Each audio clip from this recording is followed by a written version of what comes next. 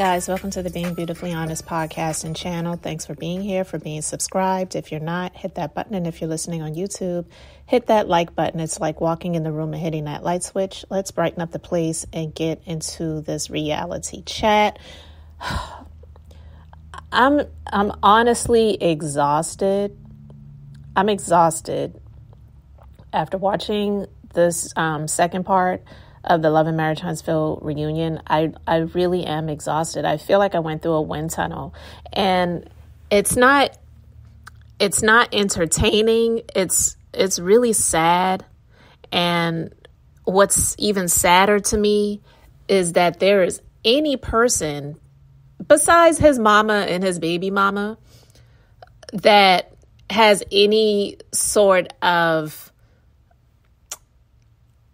any any sort of care for this man or trying to give him grace or the benefit of the doubt because he doesn't deserve any of it.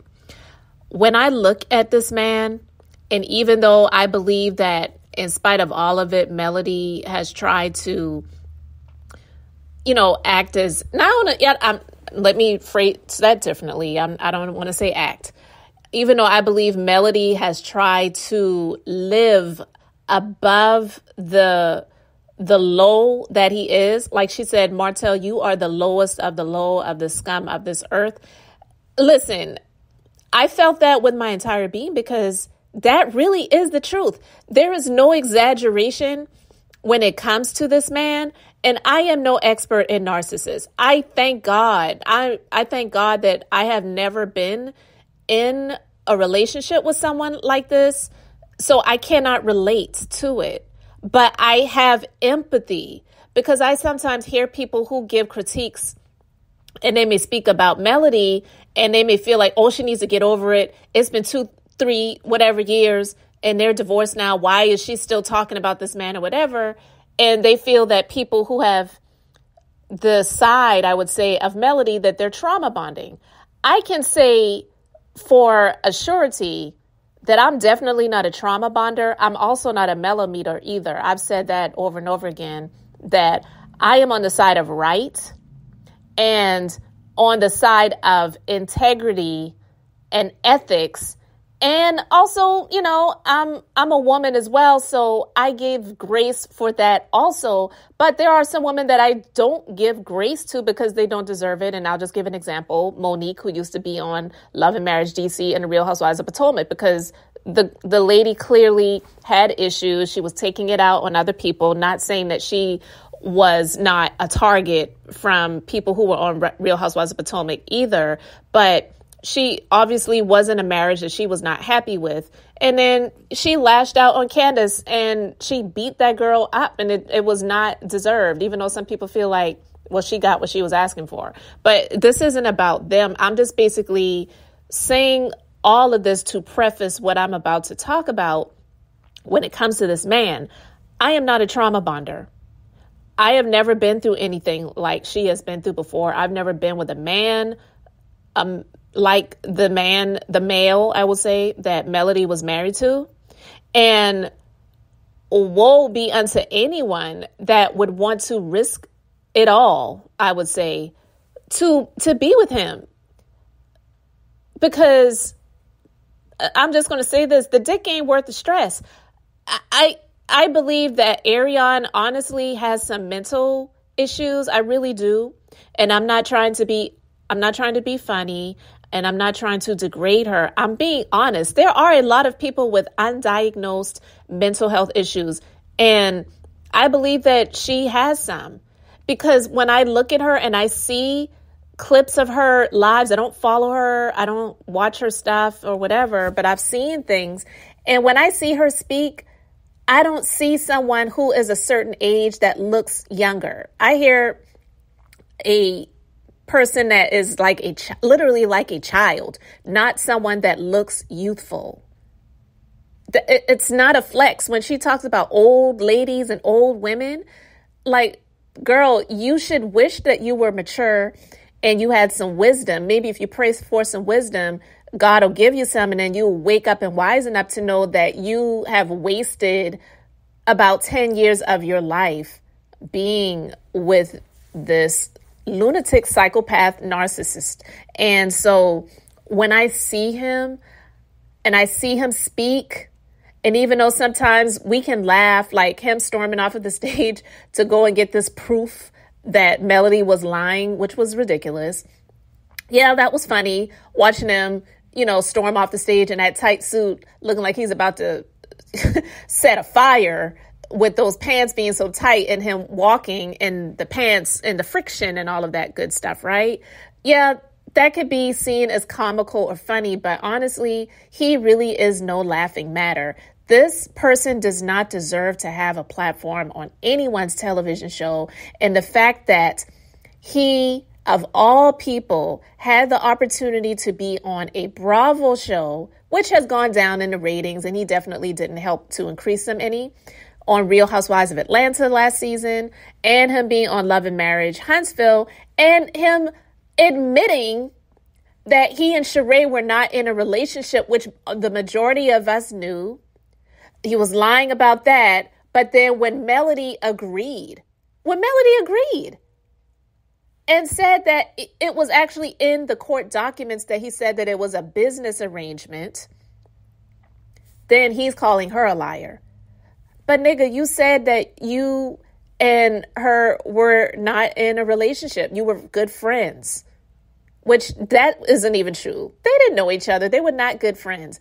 It was there was no chemistry. Even though I don't really care for Kimmie and some of the things that she has said and moves that she's made, you know, here as of recent, I I agree with her when she said, yeah, like it was just no chemistry. It just really looked like a business arrangement, like maybe he hired her to be an escort, you know, to be on his arm at his magazine cover launch party for Upscale magazine, which was a downscale. It definitely was with the heavily airbrushed face. And so to see this play out, there is nothing humorous about this. This man is extremely disturbed and he rightfully was arrested. Apparently, there was a warrant out for his arrest, and they finally got him on it. He was ducking and dodging the warrant. I don't know if he knew that there was a warrant, but he knew that Melody was serious about pressing charges against him because when they were on the Houston trip and he was going off on that tirade, yelling at all of the ladies while the men in the room stood there and watched him. Nobody checked him or clocked him on how he was behaving, period, let alone how he was speaking to their spouses, right? So I, spoke about that as well. That that was just insane to me to have them all standing around watching him. Nobody just was like, look, dude, you need to calm down, hold up, let's go in the other room. Like nothing like that. They just stood around watching him. He did everything except haul off and slap the ladies that were he that were standing around that he was sitting there yelling at, like Nell and Melody. And so I just was very disturbed watching this play out and to see this to see this, what is actually right now going on in real time, to hear that there are people that are saying he's a nice guy. Like I heard Dr. Heavenly say he's a nice guy. He never did anything to her. Girl, it's not about what he did to you. It's about what he did to his ex-wife who was his wife for many years and the mother of his like he loves to say has four beautiful children. So I just don't get why anyone would give him the time of day. Tasha K she's another story. I don't have an issue with Tasha K myself. As a content creator, she does what she does. But Melody is not angry about him being with Arionne. She was like, if you want them, you can have them. Let me go ahead and make this divorce a, a done deal so that you don't have to commit adultery anymore. You can be free to do whatever, whenever with him, and I am out of the equation because she has completely and totally disrespected her. And and I don't like to hear people call Melody stupid or you know call her names for trying to make her marriage work because that is most women. Most women that get into marriages, not all, but most women who get into marriages, even if the man isn't worth a piece of crap, they will try, they will make efforts until they have exhausted it. And like, even though I don't care for him, like the R. Kelly song said, when a woman's fed up, there's nothing you can do about it. So him trying to do these attempts of trying to get back with her and trying to make it work, it, he was he I don't believe he really loved her. I don't believe that he really wants her. He wants the life that he had with her. Because if he really loved her, listen, cheating on somebody is not a mistake. It's a bad decision. There are mistakes and there are bad decisions. I've said this over and over again.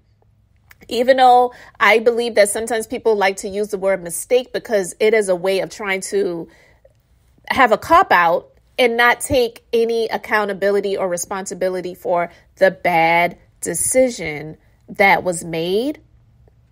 But it wasn't a mistake. A mistake is writing the wrong date on a check. A mistake is writing 2023 on a check when it's now 2024. That's a mistake. Slipping your dick in somebody else's hole was a choice. A bad choice, but it was a choice. It was not a mistake. So he never really loved Melody. He loved what he got with her his life was up leveled. He loved that she was a beautiful and attractive woman and that he had this this arm this you know this arm candy that he could claim is mine. This is my wife. That's what he loved. He loves the image. And that's why he continuously gets irate and furious when people call him out on the deceit and the cover ups because he wants to portray an image. It's not about anything that is depth. It's not about anything that is quality. It's not about morals. It's not about character. It's not about integrity. It's about what it looks like. It's about the cover, the image. That's why this loser who needs so much help mentally would go and get work done on his eyes. Do you know how crazy that sounds? First of all, how many men do you hear about going to get plastic surgery on their eyes? I'm not saying they don't do it. Yeah, men are doing more grooming and things like that these days. But the first episode of this season, the first half, because I don't know why Carlos does this, where he splits it up it, the one season into part A and part B or part one or part two or whatever it is. But the first episode of this full season, what do you see him doing? Getting a facial, not sitting on some therapist or psychiatrist couch or even doing a Zoom with a therapist or a psychiatrist. He's getting a facial. He is about image. He does not care about anything that is depth and that is quality, that is meaningful. He is meaningless. So he, I, I, I guess he doesn't really know about getting into things that are meaningful. Because if he sits in front of a therapist, it's only because it's court ordered or it's for a scene for the show. Because, like he said, he's an actor, which is bullcrap. You're not an actor. You may be acting and you may be acting up, but you are not an actor. But let's get into this because to hear him, it just is so disgusting. And I, I, I yeah, I, I can't. Let's just go ahead and get into this. Is it hard for you to date women because you still have feelings for your ex-wife? Who said I have to have feelings for my ex-wife? Well, the cameras have seen it, and you, you had a conversation with her. Nell said you said it to her too recently when we what, argued. What did I say, Neil? Well, when we had the scene on the porch, you told me then you still have feelings for Nell. You still love her. If you could change everything you would you would change everything, and it would be male. That's the kind of stuff okay, I hear cool. too.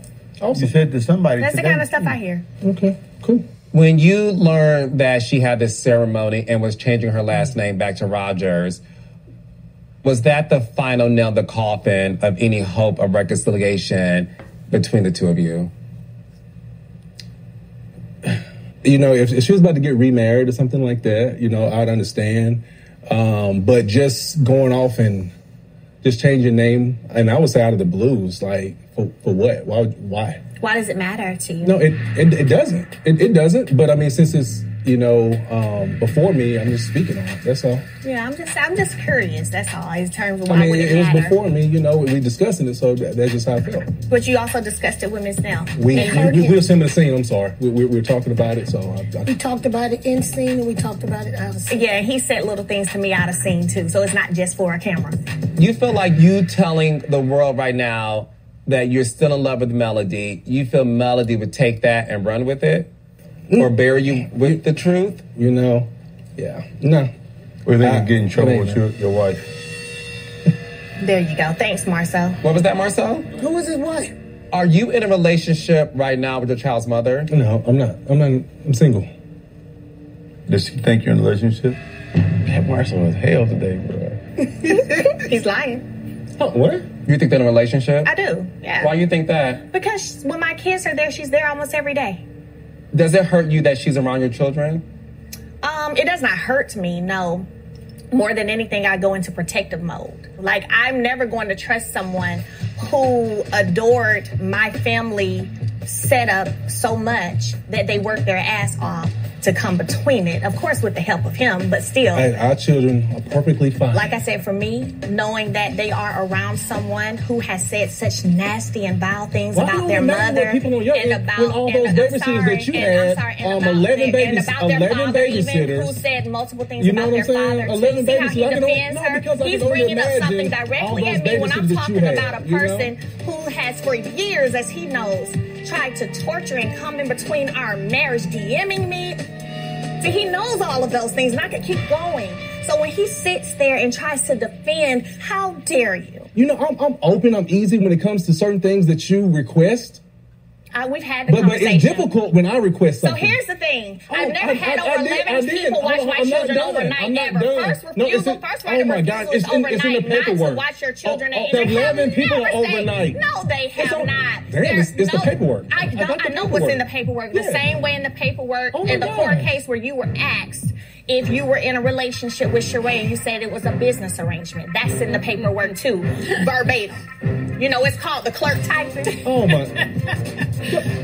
It's business. Hold on, what you're saying. So if I go stop, if I go get the paperwork, Please do. Please do. I would love for you to. Yes, No, no, please go uh-uh. get it. Go get it. You such a liar. No, no, you I'm are not. such, you're such no, a liar. No, I'm not. You're please such go, liar. No, no, please go get it. Please go get it. Bring all the Oh. pages. Well, child, he got a t-shirt receipt, so No, no, let him go get them. not- So you let us hear and sit here and ask all these damn questions about being in a business relationship. And you, I was just sitting So you kind of giggled when I said that, huh? But he did. that was a storm. So I Yeah. did knowing that. I Not did the, knowing that. So what documents that in? Not the vanilla envelope. Go to the page. Go to the page when, you, when my attorney find go it. find it. When my No, no, attorney this asks you, please go go to the place. Give us a reason. That's not the transcript. Hold on, hold on. That's not the Reese said I'm not on the transcript. contract. The transcript with the clerk type when my attorney asked you, it's Listen, called the transcript. Oh, baby. You're such a liar. I'm not a liar because I'll now go pay for the transcript and Oh, prove that you you're by the a time this liar. airs. Yeah, it's okay. My A attorney asked. Yes, he said it's, it, it's no, it's not. It's business. This is And see, even the fact those papers he had printed for you are the same papers he was sending to bloggers to talk about our children's court cases. That's a disgrace to me. We gonna talk I tell about you, this. are the lowest of the Watch low this. of the scum of this earth. Mel Martell. I gotta move the on. footage. Liar. Martell. Liar. Martell. Never. Making me look horrible out here. Making me look horrible on TV. Making me look horrible on the, on the The I need all you stuff you're discussing, chill. Okay, I've never Chill, please. discussed on Respect me television and chill. nor on the internet. Okay. You have. We're moving on. So, no, no, no, no, no, no. No more conversation. I'm so happy you two are have moved on from each other. Yes, God. And See how um, toxic it was in that house? All right, I'm going to stop it right there. And I know that Melody said something about that's why I beat your ass that one time. Listen, people can try to make that into something if they want to, but to have been in a house and living and married to this scumbag for all of these years, and clearly she was not abusing him. Clearly she was not abusing him. I have said this before that I do not doubt that he was not just emotionally and verbally abusive. I feel that he could have been physically. And a a man being physically abusive towards a woman and a woman fighting back does not make her physically abusive. People need to stop with that narrative and trying to equate the two because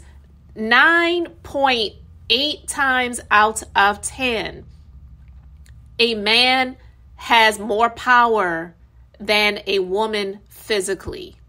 And yeah, if you put a weapon into the equation and a woman, you know, gets a weapon and takes him, you know, man out or, you know, aims it at him and may not take his life but it has injured him. We get that. But weapons are the great equalizer. But when it comes to the physical strength of the two genders, 9.8 times out of 10, a man is going to be more physically stronger than a woman.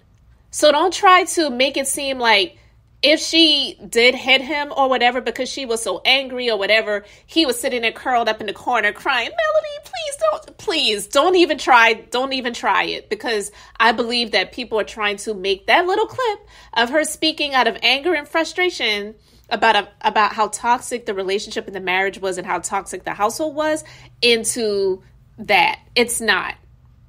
It, it, it really is not. So, getting off of that and getting back onto him with the image, you heard him, you heard what he said. You heard him speaking about how you're trying to make me look bad. You want to make me look bad on TV, out here on social media. You just want to look make me look bad. You're such a liar. You're such a liar. This man has the nerve to call somebody a liar when everything has been how he looks. And that's why him being questioned by Carlos about him still being in love with Melody and he's sitting there smiling and trying to laugh it off. And Carlos asked him, you know, are you not wanting he didn't say these exact, exact words, but he's saying, Are you not wanting to admit it because of how it could give Melody leverage out here to just make it seem like, see, I told y'all he still wants me and you don't want to look bad because she's rejected you.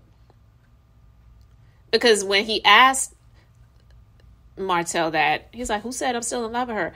Answering the question with a question is deflection because the truth of the matter is no, I don't believe he is in love with her. He is in love with what he had. He is in love with the lifestyle that he no longer has access to. It's it's pretty much like Celie in the color purple, where he had this curse invoked upon him by his own actions, not so much a curse, but his own actions has him reaping what he has sown until you do right by Melody. And I would not even say just Melody, until you do right by Melody and the children that you had with her, everything that you even think about is going to crumble and fail. And that is exactly what has been happening. And I'd love to see it. Because listen, it was so insulting to have him sit there when Marsau mentioned about him not wanting to make his wife upset, which was basically calling Arionne his wife. Now, listen, I don't know if they're actually legally married. It could be a possibility and it could be something, I believe that's public record. So if there is a marriage license out there, then somebody would have probably found that by now. I'm quite sure. out here on social media and would have reported on it. But maybe they are living together, so he's maybe calling her like his common law wife. And to hear him sit there and say, when Melody was asked about how she feels about her children being around this person, because Melody said, yeah, you know, Marsau, it's true because almost every time I come there to get my kids or to drop them off, she's there. And he is so disrespectful. He was just like, well, the kids, they're our kids are fine. You know, it's just horrible. I couldn't imagine having four children that I have to deal with this man with until they at least reach the age of 18 and I got four of them that I got to deal with and deal with him. Mm-mm. Man, I, I don't know when Melody started seeing the signs of what this dude was like. One baby, maybe. Child, I would have, mm, I don't know. I'm not even going to go there, but I'm just saying. I know she doesn't regret her children, but I know she regrets who she had the children with. And she even said that herself. I just actually remembered that now that I'm sitting here saying that. She said, I wish I had my children with a man instead of a queen. So actually I'm right about that because she did she did say that. And so to have him sit there and talk about the image and call Melody a liar. And he was just so adamant about proving her wrong that he had to go and get paperwork from the court case to show that he didn't say that the relationship between he and Sheree was just a business arrangement. Who the freak cares? Because one, we believe that to be the truth, but two, you sat there and said that you were not in a relationship, but when the show was on, when you were on Real Housewives of Atlanta and being on Love and Marriage Huntsville, you were not saying we're just friends and we're just kicking it. You were acting like you were in a relationship. Sheree with that fake and phony, hey baby, when she was at the magazine cover lunch party when she came down to Huntsville, that looked so cringe and so fake. She was more affectionate with Tyrone over the phone when she was getting those collect calls from him from prison than she was with Martell in his face in real time. You know, it was just absolutely ridiculous. I felt like I went through a wind tunnel watching this. And the fact that they would continue to humor this man, I don't know what's going to happen after this season because my personal opinion is Carlos is trying his best to go to bat for him. I don't know why, but I believe he's trying his best to go to bat for him. And I don't know if they're going to do like a Jonathan Majors where after his trial, even if he even goes through a trial, because I honestly see him copping a plea. Um, I, am just really not seeing him seeing him go through a trial because not just for the sake of being afraid to be found guilty, but it costs more money to have an attorney take you through a trial unless he has a public defender and the public defender is going to be pressing him to cop a plea because they don't want to waste their time in court because they have so many cases on their backlog they don't get paid that much money and they don't want to waste their time with the loser that they already see as guilty anyway right? So, with that being said, I don't know if they're going to do him like they did Jonathan Majors, where some companies and studios pull back on him just because of the charges. But after he was found guilty, that's when the rest of the dominoes started to fall. So I don't know if they're going to hold on until he either pleads cops a plea or is found guilty if indeed he does go through a trial and then say he's no longer going to be a part of Love and Marriage Huntsville. But he really does not deserve to be on anyone's platform anymore. I mean, honestly, even Instagram should shut down his Instagram page. I just don't believe that anyone should be following him. I don't believe that he should have the number of followers that he does have, unless, you know, a lot of the followers that he has are actually bots. Who knows? I don't know. But I just am disgusted by him. I I have been for some time and I'm I'm just really grossed out by this this character that is all about his image and literally cannot handle the truth.